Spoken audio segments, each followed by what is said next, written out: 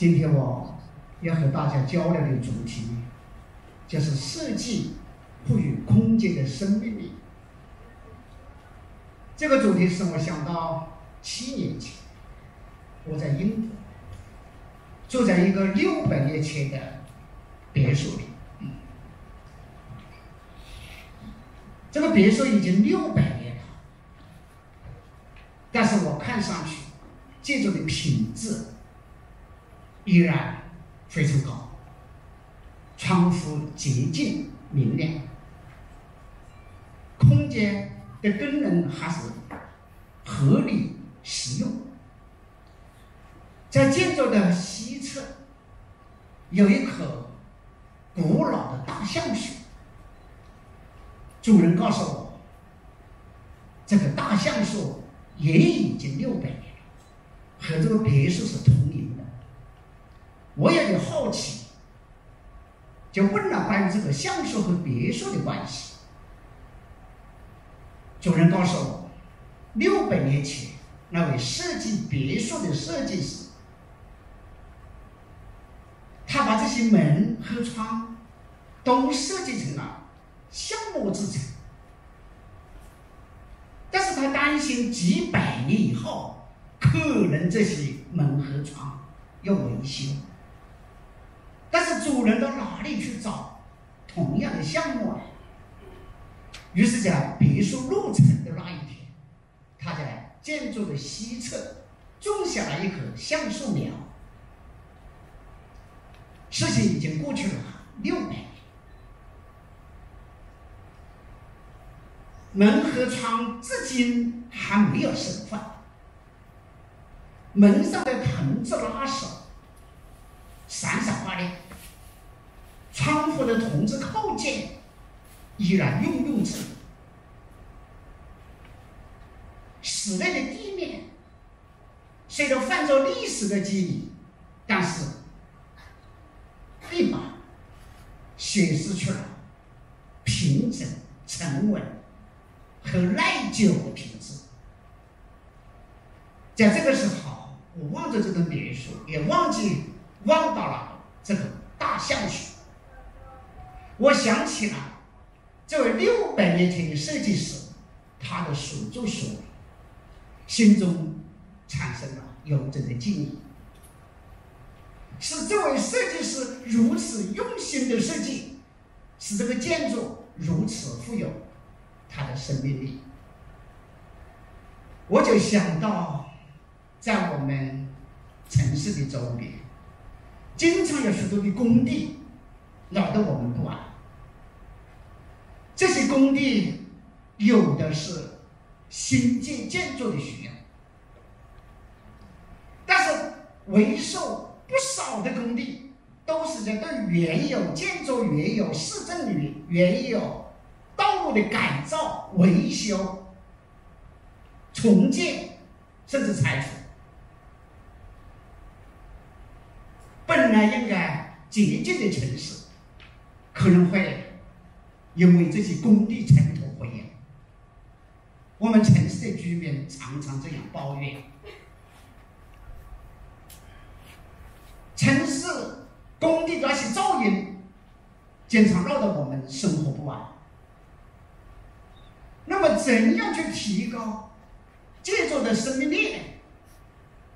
所以说，建筑的生命力不仅仅是设计师的重要，它包括了施工管理，包括了以后使用的方法。但是，设计师对于他的技术高想和艺术高想是至关重要的。在一些年前。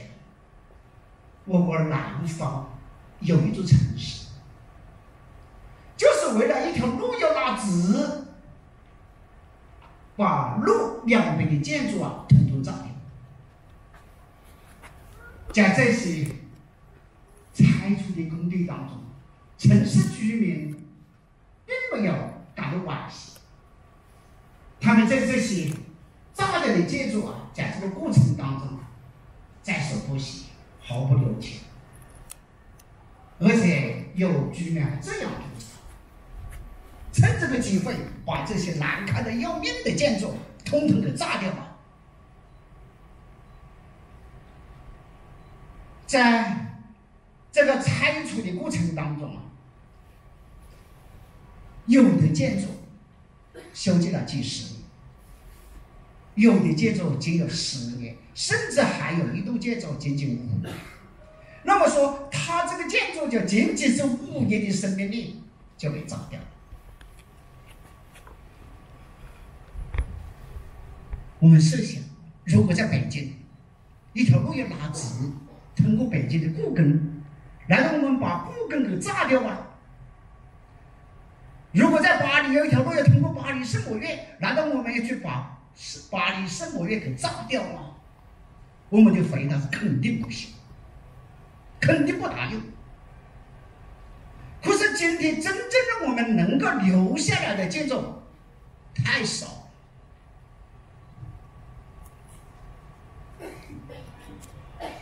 前几年，一位电视台的记者采访我，也是谈同样的问题，就是建筑的生命力的问题。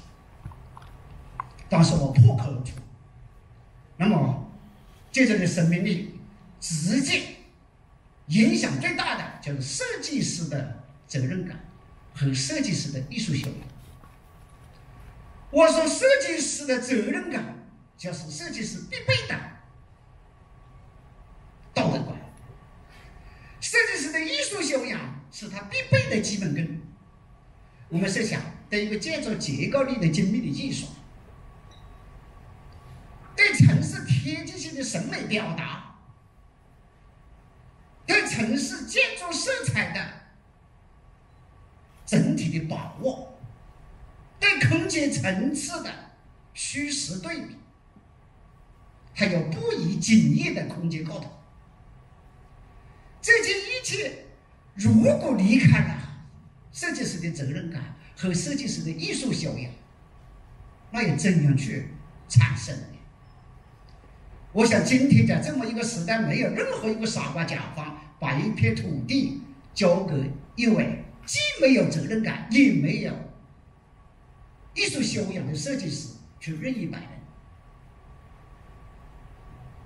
前些天可能大家听到了一个消息，也就是刚才主持人啊，我也不知道他怎么样啊接手了我们这个项目，那就是中国梅山文化园的建筑群。啊，这个建筑群艺术前不久参加了北京啊中国建国七十周年的，而且全国最高规格的美术展览，第十三届全国美术作品展，也是湖南省唯一的一件建筑艺术作品参加这个展览。这个事情的起因，我还要从二零零六年。六月开始，那个时候我出于对家乡山水的眷恋，我爬上了家乡一座海拔并不高，但是也有七百米的一个山岭。在山顶上遇到一对农民夫妇，正在那里伐树、砍树。种树，我了解了实况。他们说，现在种下的树苗，十五年以后就能够卖出去，而换来经济的回报。我承认了经济回报的这么一个事实，是可以接受的。但是，我想，十五年以后，一个本来绿油油的山林，又要变成一个光秃秃的。方山，我不能够接受这么一种策划。也许现在我们的观念是都大家通得过来，但是十五年以后、三十五年、以三十年以后，是否还允许有这种操作性？是否还允许我们这个成山峻岭的这种青山绿水，要变成光秃秃的荒山？是否有可能？我提出了一个巨大的问号，他们也诚实。我说能不能够做一个综合开发？什么是综合开发？他们也不太清楚。我想不仅仅是种树，我们能不能够赐予一些其他的项目？啊，既让树长起来，也让我们赐予的项目能够产生经济效益和社会效益。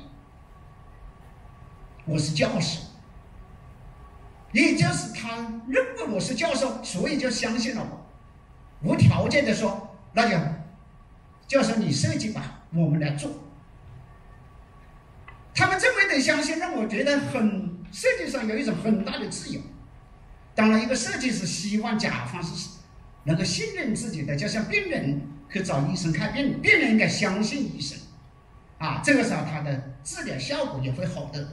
会不会因为怀疑这种各种处方而耽误治疗的良机？其实他这种相信呢，也使我变得更加冷静了。我想，作为这个近三千亩的这片土地，我怎样的去表达我的责任感？一个就是他的经济责任。投入这么多土地，还要投入那么那么多的人民币去进行建设，怎样回报？我应该承担这块地的生态责任。如何使它这样的青山绿水能够永存？它的发展向何处走？我要承担这里的文化责任。我做到底是做一个怎样的？主题来表达怎样的一种文化？我带着这个构想离开了安化，我的家乡是安化，我到了湖南大学，来到了我们的团队，因为我姓成，叫恢复，叫成恢复，所以我们那个团队社会上都喊我们团队叫恢复队，啊，这个恢复队当然不是抗日战争时期的这个恢复队。是我们的一个设计团队，我这设计团队有多少人了？前前后后近三百人。我带着这么一个设计的构想啊，和大家交流的时候，大家投入了人民的兴趣。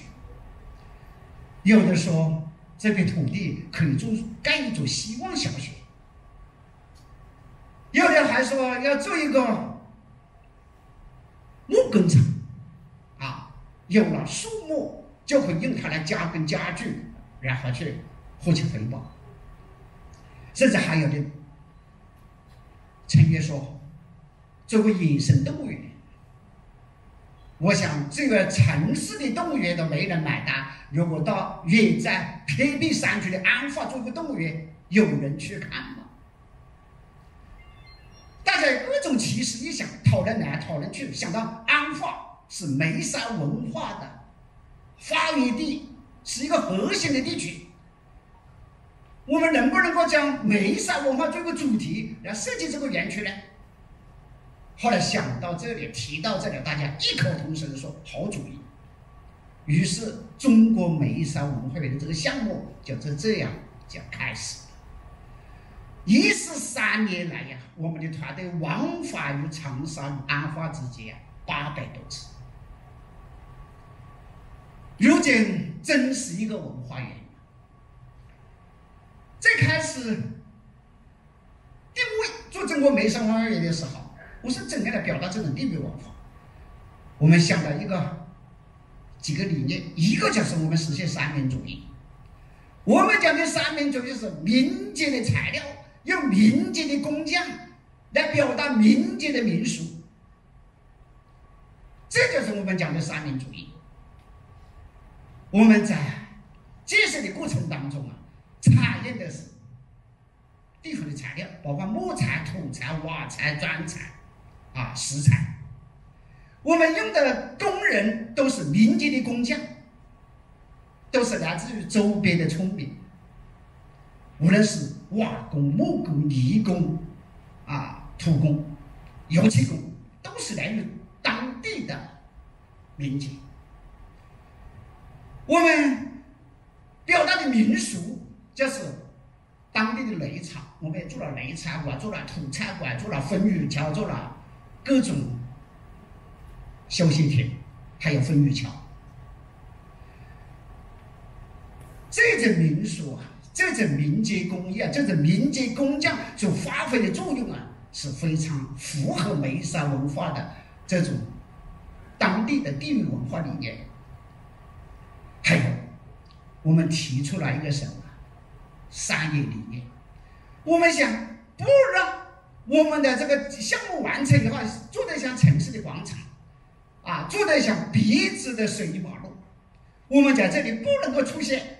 我们讲城市当中那些草木不生的材料，项目做成以后，我们要让野草照样长，野花照样开，野兽照样来。当我把这个商业理念告告诉给建设方的时候，他们很惊讶，难道那是个什么样的项目啊？野草照样长，野花照样开，还有野兽照样来。那么野兽不？不伤人吗？天哪！我只是一个理念啊，理念和现实总是存在距离。难道我说野兽照样来，这里就出现了东北虎，这里就出现了非洲大象吗？啊，这里出现了八八里的狮子吗？不可能了！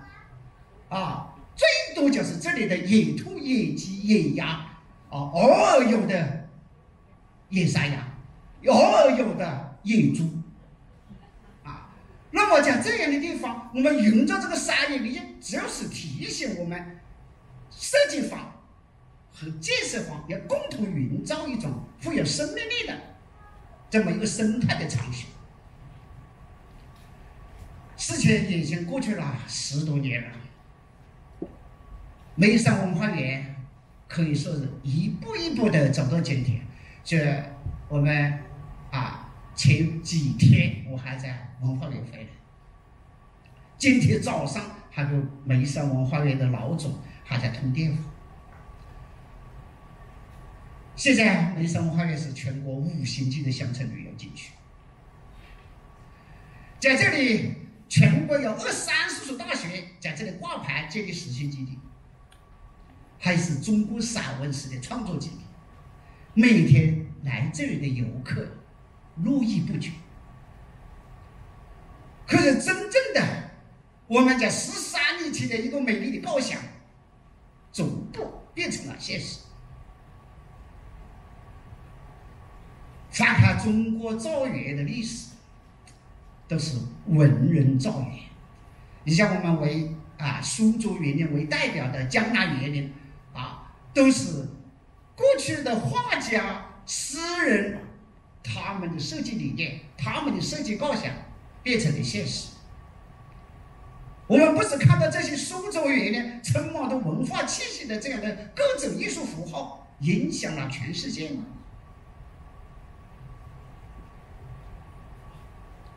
文人的理念，我们不是能够随意照搬的，但是我们放下，我们学习，我们追求。我相信梅山文化园。从现在开始还会越来越好，生态的规律也告诉我们，它的生态表达会越来越优于现在。我们设想一百年以后，或者五百年以后，不，一千年以后，一千年以后，它的野草茂盛，野花会更加灿烂。而这两个伟大的农民种下的那些小树，都成为了千年古树。我们今天这些建筑搬出来在在一起，形成它的整体感觉，也许当中还出现梅山老虎、梅山大象、梅山的猴子、梅山的长颈鹿。那么，真正的一个梅山古国啊，在这里出现啊，这是一个真正的。能够让人穿越时空的一个时代的桃花桃花源在这里出现，这样一个神话真就是事实，而且必然。今天我见六百年前的一个别墅，谈到千年以后的梅山花园，除非我就是说明设计作品的生命力，怎样让设计师带着责任感和艺术修养去表达它，去实现它。谢谢。